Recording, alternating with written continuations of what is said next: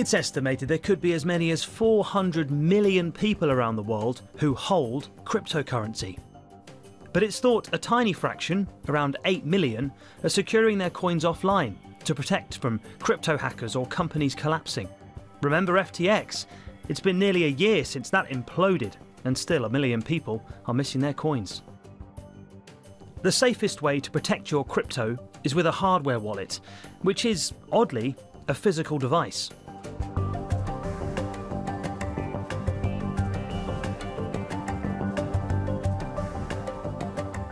So, let's see for ourselves then. Just how hard is it to take Bitcoin from an exchange and put it onto a hardware wallet, like this? The idea of a hardware wallet is very simple. It holds the private keys to your digital wallet, making you your own bank, just as crypto's inventors envisaged. With the keys stored safely off the internet on a physical device, your coins are safe. I've got hold of one of the most popular ones to test it out. So, I've got to go to the Trezor website and I've got to download their software. You've got to make sure, of course, that you put in the right web address because this will be a prime time. I imagine that hackers and scammers will want to get you to go on their fake Trezor website or fake Ledger website and hand over your Bitcoin by mistake. Then you have to plug in cables and install some firmware. So far, so good. Okay, so now it's telling me that I need to create a backup for my crypto wallet and it's giving me some randomly generated words which are my seed phrase and weirdly it's asking me to write them down. This so called seed phrase allows me a way back to my currency if I lose or break the hardware. So this feels like a really analog way of securing my crypto. I've got this hardware wallet, which I've obviously, you know, they cost money, a lot of money, uh, but then they've just given me a pen and paper.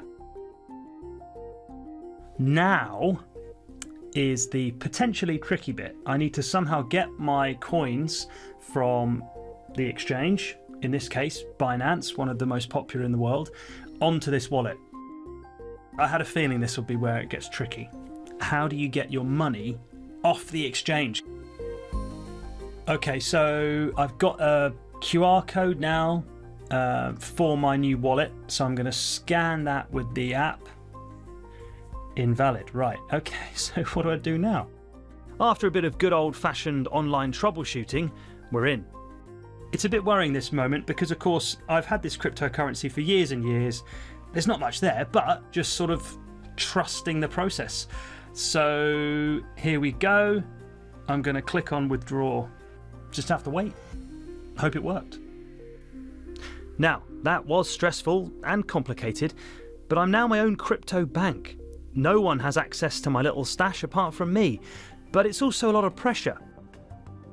It's just such a different experience from internet banking, for example, where you know you send money from one person to the next and it keeps you informed of, of you know of all the process. But um, it's not intuitive at all. I can see why the process is daunting to the vast majority out there choosing to take the easier route and just hope that their coins stay safe online. As is always the case with crypto, it's a gamble